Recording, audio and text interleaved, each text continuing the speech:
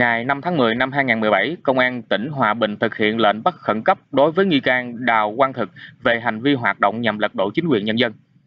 Công an tỉnh Hòa Bình đã thực hiện lệnh bắt khẩn cấp đối với bị nghi can Đào Quang Thực theo tội danh được quy định tại Điều 79 Bộ Luật Hình sự năm 1999, sửa đổi năm 2009 tội danh hoạt động nhằm lật đổ chính quyền nhân dân. Trên trang Facebook cá nhân của nghi can Đào Quang Thực đã tiến hành khởi động nhiều âm mưu tổ chức các hoạt động chống phá chính quyền Việt Nam –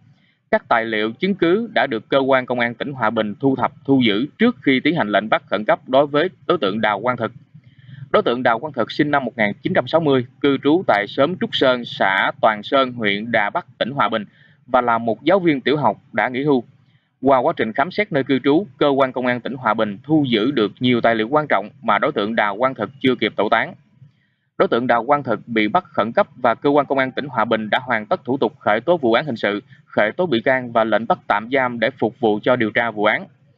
Mới đây, Nguyễn Viết Dũng, tức Dũng Phi Hổ cũng đã bị cơ quan an ninh điều tra công an tỉnh Nghệ An thực hiện lệnh bắt khẩn cấp về hành vi tuyên truyền chống nhà nước Việt Nam theo điều 88 Bộ luật hình sự năm 1999, sửa đổi bổ sung năm 2009.